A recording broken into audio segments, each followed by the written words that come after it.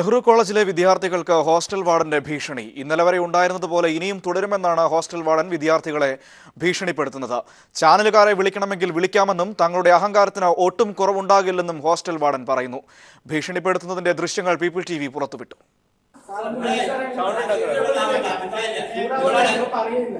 Second year ആണ് നിങ്ങൾ exam ഇല്ലാത്തവര് എല്ലാവരും വീട്ടിൽ പോട്ടെ. നാളെ ഞങ്ങൾക്ക് എക്സാം ഉണ്ട്. സപ്ലി ഉണ്ടോ? ആ സപ്ലി ഉണ്ട്. ആ, പറയ്. സപ്ലി ഇല്ലാത്തവരൊക്കെ എല്ലാവരും വീട്ടിൽ പോകാനാണ് പറഞ്ഞിരിക്കുന്നത് എക്സാം പറഞ്ഞു സാർ ഇവിടെ നിൽക്കുന്നത്. സാറേ ഇനിയിപ്പോ നാളെ ഇവിടെ എന്താ സംഭവിക്കുന്നത് ഇൻവോൾവ് ആകാതിരിക്കാനും വല്ല കല്ലേറ് കൊള്ളാതിരിക്കാൻ വേണ്ടിട്ടാ പറയുന്നത്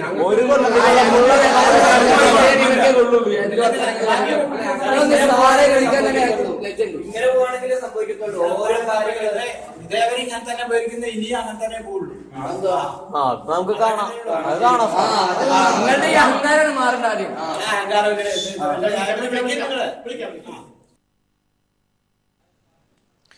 തൃശൂർ പാമ്പാടി നെഹ്റു കോളേജിൽ ആത്മഹത്യ ചെയ്ത ജിഷ്ണു പരീക്ഷയിൽ കോപ്പിയടിച്ചെന്ന കോളേജ് അധികൃതരുടെ വാദം പൊളിഞ്ഞു.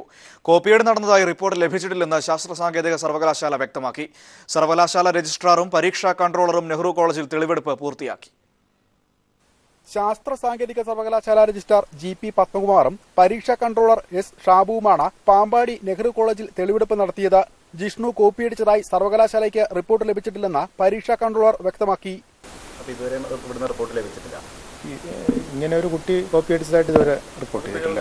അപ്പോൾ ഗവൺമെന്റിന്റെ ഭാഗത്ത് നിന്നും എഡ്യൂക്കേഷൻ മിനിസ്റ്റർ തന്നെ ഇന്നലെ മുൻകൈയെടുത്ത് ഇതിന്റെ ഒരു നിജസ്ഥിതി അന്വേഷിച്ച് റിപ്പോർട്ട് ചെയ്യാൻ വേണ്ടിയാണ് പറഞ്ഞിരിക്കുന്നത്. അപ്പോൾ ഗവൺമെന്റിന്റെ ഭാഗത്ത് നിന്നൊരു വളരെ ഗൗരവകരമായി ഈ പ്രശ്നത്തെ കാണുന്നു എന്നുള്ളത് കൊണ്ട് തന്നെയാണ് ഇന്ന് ഞങ്ങൾ ഉടൻ തന്നെ സ്ഥലത്തെത്തി. ഇതിനെ പറ്റി ഒരു എൻക്വയറി നടത്തി. ആരൊക്കെയാണ് കൺസേൺഡ് ആൾക്കാർ എന്നുള്ളത് നടത്തി അവരുടെ ഒരു മൊഴിയെടുത്ത് ഗവൺമെന്റിന് റിപ്പോർട്ട് കൊടുക്കാൻ വേണ്ടിയാണ് വന്നത്. കോപ്പിയടി നടന്നാൽ അതേ ദിവസം സർവകലാശാലയിൽ വിവരം അറിയിക്കണമെന്നാണ് ചട്ടം. ഇത് ഉണ്ടാകാത്തതിനാൽ കോപ്പിയടിച്ചുവെന്ന കോളേജിന്റെ വാദം കെട്ടിച്ചമച്ചതാണെന്ന് തെളിഞ്ഞു. ജിഷ്ണു കോപ്പിയടിച്ചിട്ടില്ലെന്ന ഒപ്പം പരീക്ഷ എഴുതിയ വിദ്യാർത്ഥികളും പീപ്പിൾ ടിവിയോട് വ്യക്തമാക്കി. അവൻ പാസ്സാവും സ്വന്തമായി പഠിച്ച് എഴുതിയ എക്സാം ആയിരുന്നു. അവൻ പാസ്സാവും അവൻ ഹൺഡ്രഡ് പെർസെന്റേജ് ഉറപ്പായിരുന്നു. അതാണ് അവൻ അത്രയും കരഞ്ഞു പറഞ്ഞു ഞാൻ കണ്ടതാണ്. ഞാൻ കോപ്പി അടിച്ചില്ല സാറേ ഞാൻ കോപ്പി അടിച്ചില്ല തെളിവെടുപ്പ് പൂർത്തിയാക്കി സർവകലാശാല രജിസ്ട്രാർ സർക്കാരിന് റിപ്പോർട്ട് നൽകും. ജിഷ്ണുവിന്റെ മൂക്കിൽ മുറിവ് ഉണ്ടായിരുന്നുവെന്ന പോസ്റ്റ്മോർട്ടം നടത്തിയ സർജൻ പോലീസിന് വിവരം നൽകി. ഇക്കാര്യത്തിൽ പോലീസ് അന്വേഷണം ഊർജിതമാക്കി. സംസ്ഥാനത്തുടനീളം ക്യാമ്പസുകളിൽ S F I K S U പ്രവർത്തകർ പ്രതിഷേധ പ്രകടനം നടത്തി. നെഹ്റു ഗ്രൂപ്പ് ചെയർമാൻ പി കൃഷ്ണദാസിന്റെ വീട്ടിലേക്ക് എ ബി വി പി പ്രവർത്തകർ മാർച്ച് നടത്തി. ക്യാമറാമാൻ പി പി സലീമിനൊപ്പം C G Diljith. Nehru engineering കോളേജിൽ വിദ്യാർത്ഥിയായ ജിഷ്ണു മരിക്കാനിടയായ സാഹചര്യത്തിൽ പ്രതിഷേധിച്ച് നാട്ടുകാർ ആക്ഷൻ കമ്മിറ്റി രൂപീകരിച്ചു. ജിഷ്ണുവിന്റെ മരണത്തിന് കാരണക്കാരായവരെ നിയമത്തിന് മുൻപിൽ കൊണ്ടുവരണമെന്നതാണ് കക്ഷി രാഷ്ട്രീയ ഭേദമന്യെ രൂപീകരിച്ച ആക്ഷൻ കമ്മിറ്റിയുടെ ആവശ്യം. ജിഷ്ണുവിന്റെ ഘാതകരെ നിയമത്തിന് മുൻപിൽ കൊണ്ടുവരണമെന്ന ആവശ്യമുന്നയിച്ചാണ് ജിഷ്ണുവിന്റെ നാട്ടുകാർ ആക്ഷൻ കമ്മിറ്റി രൂപീകരിച്ചത്. Nadapuram C P I M area secretary P P Chathu കൺവീനറായും panchayat president V Sumathi ചെയർപേഴ്സണായി രൂപീകരിച്ച ആക്ഷൻ കമ്മിറ്റിയിൽ കക്ഷി രാഷ്ട്രീയ ഭേദമന്യേ ബഹുജന പങ്കാളിത്തമാണുള്ളത്. വരുന്ന പതിമൂന്നാം തീയതി വളയം ടൗണിൽ ബഹുജന പ്രക്ഷോഭം സംഘടിപ്പിക്കാൻ ആക്ഷൻ കമ്മിറ്റി തീരുമാനമെടുത്തു. ജിഷ്ണു പഠിച്ച പാമ്പാടി നെഹ്റു എഞ്ചിനീയറിംഗ് കോളേജിലേക്ക് ആക്ഷൻ കമ്മിറ്റിയുടെ നേതൃത്വത്തിൽ മാർച്ചും നടത്തും.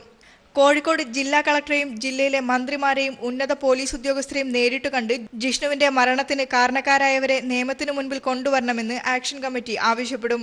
News bureau Kozhikode.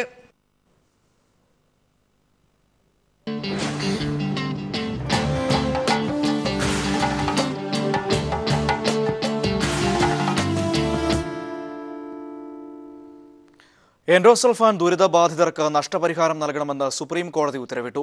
എൻഡോസൾഫാൻ ഉൽപാദകരായ കീടനാശിനി കമ്പനിയിൽ നിന്നും നഷ്ടപരിഹാര തുക ഈടാക്കണമെന്നും സുപ്രീം കോടതി വ്യക്തമാക്കി. മൂന്ന് മാസത്തിനുള്ളിൽ തുക നൽകണം. ഡിവൈഫൈ നൽകിയ ഹർജിയിലാണ് ഉത്തരവ്. കാസർകോട്ടെ എൻഡോസൾഫാൻ ദുരിതബാധിതർക്ക് അഞ്ച് ലക്ഷം രൂപ വീതം നൽകാനാണ് സുപ്രീം കോടതി വിധി. ഈ തുക ഉൽപാദകരായ കീടനാശിനി കമ്പനിയിൽ നിന്നും സംസ്ഥാന സർക്കാരിന് ഈടാക്കാം. ഇതിന്റെ നിയമ നടപടികളുമായി കേരളത്തിന് മുന്നോട്ടു പോകാമെന്ന് ചീഫ് ജസ്റ്റിസ് അധ്യക്ഷനായ ബെഞ്ച് നിർദ്ദേശിച്ചു. കമ്പനികളിൽ നിന്നും തുക ഈടാക്കാനായില്ലെങ്കിൽ കേന്ദ്ര സർക്കാരിൽ നിന്നും നഷ്ടപരിഹാര തുക തേടാമെന്നും വിധിയിൽ വ്യക്തമാക്കുന്നു. മൂന്ന് മാസത്തിനുള്ളിൽ ദുരിതബാധിതർക്ക് തുക നൽകണം. ഇരകൾക്ക് ജീവിതകാലം മുഴുവൻ വൈദ്യസഹായം ഉറപ്പാക്കണം. കാസർകോട്ടെ എൻഡോസൾഫാൻ ദുരിതബാധിതർ അനുഭവിക്കുന്ന പ്രശ്നങ്ങൾ ചൂണ്ടിക്കാട്ടി ഡിവൈഎഫ്ഐ നൽകിയ ഹർജിയിലാണ് സുപ്രീം കോടതിയുടെ നിർണായകമായ വിധി. എൻഡോസൾഫാൻ ഉൽപാദകരായ കീടനാശിനി കമ്പനി പരസ്യ പ്രചാരണാർത്ഥം സുപ്രീം കോടതി ചീഫ് ജസ്റ്റിസിന്റെ ചിത്രം ഉപയോഗിച്ചതും കടുത്ത വിമർശനത്തിനിടയാക്കി. നിയമ നടപടികൾ സ്വീകരിക്കാൻ തീരുമാനിച്ച സുപ്രീം കോടതി കമ്പനിക്കെതിരെ നോട്ടീസ് അയച്ചു. News bureau Dileep. പാർട്ടി ചിഹ്നത്തിനായി അവകാശവാദം ഉന്നയിച്ച മുലായം സിംഗ് യാദവിനെയും അഖിലേഷ് യാദവിനെയും തെരഞ്ഞെടുപ്പ് കമ്മീഷൻ ഒരുമിച്ച് വിളിച്ചു വരുത്തി തെളിവെടുക്കും. ഇരു വിഭാഗം നേതാക്കളോടും വെള്ളിയാഴ്ച ഹാജരാകണമെന്ന് തെരഞ്ഞെടുപ്പ് കമ്മീഷൻ നിർദ്ദേശിച്ചു. അതേസമയം തർക്കങ്ങൾക്ക് പരിഹാരം ആയേക്കും എന്ന സൂചന നൽകി മുലായവും അഖിലേഷും കൂടിക്കാഴ്ച നടത്തി. പാർട്ടിയിൽ പ്രശ്നങ്ങളില്ലെന്നും അഖിലേഷ് തന്നെയായിരിക്കും അടുത്ത മുഖ്യമന്ത്രിയെന്നും മുലായം പറഞ്ഞതിന് പിന്നാലെയാണ് മഞ്ഞുരുകുന്നു എന്ന സൂചന നൽകി ഇരുവരും കൂടിക്കാഴ്ച നടത്തിയത്.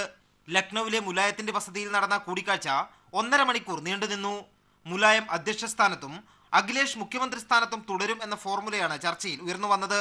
സ്ഥാനാർത്ഥി നിർണയത്തിന്റെ പൂർണ അധികാരം വേണമെന്ന് അഖിലേഷ് ആവശ്യപ്പെട്ടു. ചിഹ്നത്തിൽ അവകാശം ഉന്നയിച്ച് തിരഞ്ഞെടുപ്പ് കമ്മീഷൻ നൽകിയ അപേക്ഷ പിൻവലിക്കണമെന്ന് മുലായവും ആവശ്യപ്പെട്ടു. ചർച്ചകൾക്ക് ശേഷം ഇരുവരും മാധ്യമങ്ങളോട് പ്രതികരിച്ചില്ല. അതേസമയം പാർട്ടി ചിഹ്നത്തിനായി ഇരുവിഭാഗവും അവകാശവാദം ഉന്നയിച്ചതിനാൽ കൂടുതൽ തെളിവ് നൽകണമെന്ന് തിരഞ്ഞെടുപ്പ് കമ്മീഷൻ നിർദ്ദേശിച്ചു. വെള്ളിയാഴ്ച ഇരുവിഭാഗത്തിനെയും പ്രതിനിധികൾ നേരിട്ട് ഹാജരാകണമെന്നാണ് കമ്മീഷന്റെ നിർദ്ദേശം വാദങ്ങൾ വിശദമായി കേട്ടതിന് ശേഷമായിരിക്കും തിരഞ്ഞെടുപ്പ് കമ്മീഷൻ അന്തിമ തീരുമാനമെടുക്കുന്നത്. News bureau Delhi.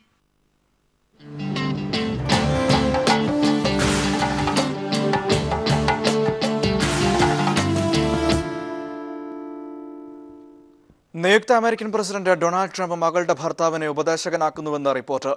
മകൾ ഇവാൻഗയുടെ ഭർത്താവ് ജാരദ് കുഷ്നെ വൈറ്റ് ഹൌസിലെ മുഖ്യ ഉപദേശകനായാണ് നിയമിക്കുക. വിവാദങ്ങളുടെ നടുവിലാണ് നിയുക്ത അമേരിക്കൻ പ്രസിഡന്റ് ഡൊണാൾഡ് ട്രംപ് തെരഞ്ഞെടുപ്പും തെരഞ്ഞെടുപ്പിന് ശേഷവും ട്രംപിനെ വിവാദങ്ങൾ വിട്ടൊഴിയാതെ തുടരുകയാണ്. അതിനിടയിലാണ് സ്വന്തം മകളുടെ ഭർത്താവിനെ ട്രംപ് ഉപദേശകനാക്കുന്നു എന്ന വാർത്ത പുറത്തുവരുന്നത്. മകൾ ഇവാങ്കയുടെ ഭർത്താവ് ജാരേദ് കുഷനെ വൈറ്റ് ഹൌസിലെ മുഖ്യ ഉപദേശകനാക്കുമെന്നാണ് റിപ്പോർട്ടുകൾ സൂചിപ്പിക്കുന്നത്. അമേരിക്കയിലെ അറിയപ്പെടുന്ന റിയൽ എസ്റ്റേറ്റ് ബിസിനസ്സുകാരനാണ് ട്രംപിന്റെ മരുമകൻ മുപ്പത്തിയഞ്ചുകാരനായ ജാരേദ് കുഷൻ മാത്രവുമല്ല ട്രംപിന്റെ വിജയത്തിന് മുഖ്യ സൂത്രധാരൻ കൂടിയായിരുന്നു ജാരേദ്. തെരഞ്ഞെടുപ്പ് കാലത്ത് ട്രംപിന്റെ പ്രചരണ പ്രധാന ചുമതല വഹിച്ചത് മരുമകനായ ജാരേദ് തന്നെയായിരുന്നു. എന്നാൽ മരുമകനെ തന്റെ മുഖ്യ ഉപദേശകനാക്കുന്നു എന്ന വാർത്തയോട് ട്രംപ് പ്രതികരിക്കാതിരുന്നില്ല. മരുമകൻ തന്റെ വിലമതിക്കാനാകാത്ത സ്വത്താണെന്നും ഇങ്ങനൊരു സ്ഥാനം മരുമകന് നൽകുന്നതിൽ താൻ അഭിമാനിക്കുന്നു എന്നുമാണ് ട്രംപ് പ്രതികരിച്ചത്. എന്നാൽ ട്രംപിന്റെ ഈ പുതിയ തീരുമാനത്തിനെതിരെ അമേരിക്കയിൽ പ്രതിഷേധം ആളിക്കത്തുകയാണ്. ഡെമോക്രാറ്റിക് അംഗങ്ങൾ ഉൾപ്പെടെയുള്ളവർ പ്രതിഷേധവുമായി രംഗത്തെത്തിയിട്ടുണ്ട്. Indian national desk people T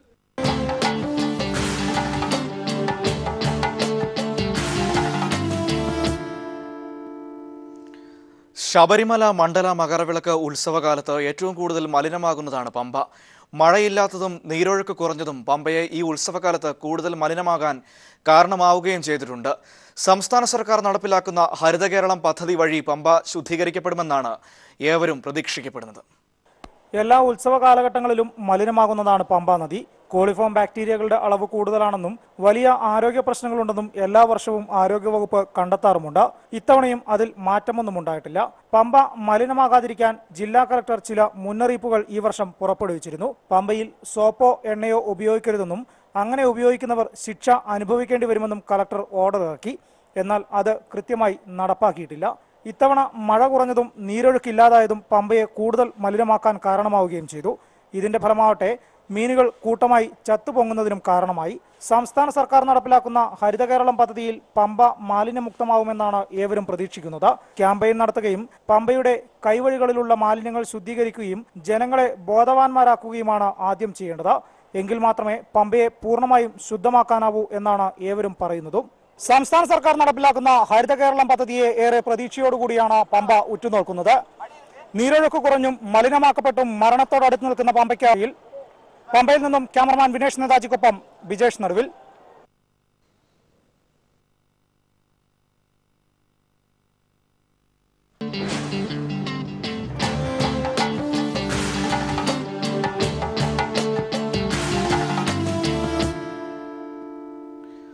സംസ്ഥാനത്ത് റോഡപകടങ്ങൾ വർദ്ധിച്ചു വരുന്ന സാഹചര്യത്തിൽ ഇത് നിയന്ത്രിക്കുന്നതിന് ഗതാഗത വകുപ്പ് ബോധവൽക്കരണ പരിപാടികൾ ആരംഭിച്ചു.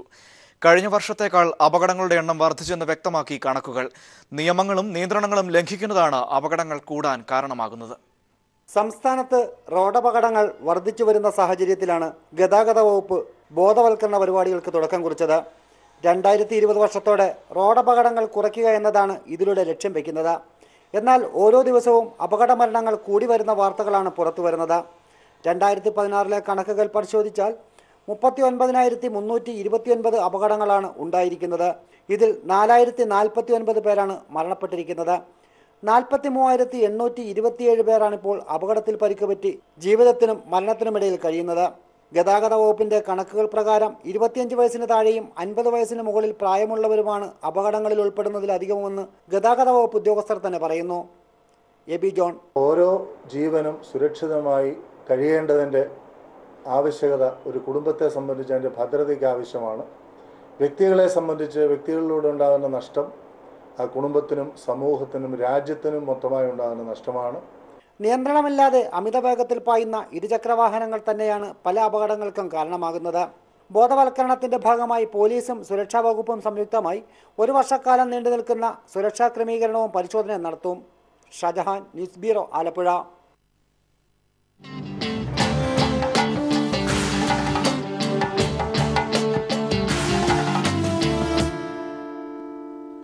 ലോകത്തിൽ ഇന്ന് ലഭ്യമായ ഏറ്റവും വിലയേറിയ സുഗന്ധദ്രവ്യമാണ് കുങ്കുമപ്പൂവ്.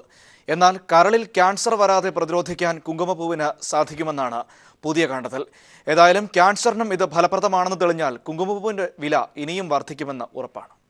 കുങ്കുമപ്പൂവിലെ ബയോമോളിക്കുളായ ക്രോസിനാണ് കരളിലെ അർബുദത്തെ പ്രതിരോധിക്കുന്ന ഘടകം. ഇത് സംബന്ധിച്ച പരീക്ഷണങ്ങളിൽ ക്രോസിന്റെ ക്യാൻസർ പ്രതിരോധ കഴിവ് വ്യക്തമാക്കിയിട്ടുണ്ട്. ഇതിനു പുറമെ ഒട്ടനവധി ഔഷധ ഗുണങ്ങളും കുങ്കുമപ്പൂവിന് ഉണ്ട്. ഗർഭിണികൾ കുങ്കുമപ്പൂ പാലിൽ ചേർത്ത് കഴിച്ചാൽ ജനിക്കാൻ പോകുന്ന കുഞ്ഞിന് നല്ല നിറം ഉണ്ടാകുമെന്നാണ് പൊതുവെയുള്ളൊരു വിശ്വാസം. നിറം വർദ്ധിക്കുമെന്ന കാര്യം ഉറപ്പില്ലെങ്കിലും എല്ലാ ഭാഗങ്ങളിലും ഒരേപോലെ രക്തമെത്തിക്കാൻ ഇത് സഹായിക്കുന്നു. ഇതുമൂലം ഗർഭിണികളുടെ ദഹന പ്രക്രിയ സുഗമമായി നടക്കുകയും വിശപ്പുണ്ടാകുകയും ചെയ്യുന്നു. പല ചർമ്മ പ്രശ്നങ്ങൾക്കുമുള്ള നല്ലൊരു മരുന്നാണ് കുങ്കുമപ്പൂവ്. ഇത് അല്പം പാലിൽ കലക്കി മുഖത്ത് പുരട്ടുകയേ വേണ്ടൂ. കണ്ണിനടിയിലെ കറുപ്പ് മുഖത്തെ പിഗ്മെന്റേഷൻ മുഖക്കുരു തുടങ്ങിയ വിവിധ പ്രശ്നങ്ങൾക്ക് പരിഹാരമാണ് കുങ്കുമപ്പൂവ് ഹോർമോൺ പ്രശ്നങ്ങൾ പരിഹരിക്കുന്നതിനുള്ള നല്ലൊരു പരിഹാരം കൂടിയാണ് കുങ്കുമപ്പൂ. ആർത്തവ പ്രശ്നങ്ങൾ പരിഹരിക്കാനുള്ള നല്ലൊരു വഴിയും ഇത് തന്നെ. തിളങ്ങുന്ന ചർമ്മത്തിനുള്ള നല്ലൊരു വഴി കൂടിയാണ് ഇത്. മുഖത്തെ രക്തപ്രവാഹം വർദ്ധിപ്പിക്കാനും ഇത് സഹായിക്കും. ഫേസ് പാക്കുകളിൽ കുങ്കുമപ്പൂ ചേർക്കുന്നത് ഏറെ നല്ലതാണ്. കുങ്കുമപ്പൂവും തേനും ചേർത്ത് മുഖത്തു പുരട്ടാം. പാലിൽ അല്പം കുങ്കുമപ്പൂ കലക്കി കുടിക്കുന്നത് പെപ്റ്റിൻ അൾസർ വയറ്റിലെ അൾസർ എന്നിവയ്ക്ക് നല്ലൊരു പരിഹാരമാണ്. ചുമ ആസ്മ കഫക്കെട്ട് എന്നിവയ്ക്ക് നല്ലൊരു പ്രതിവിധി കൂടിയാണ് കുങ്കുമപ്പൂ. News desk.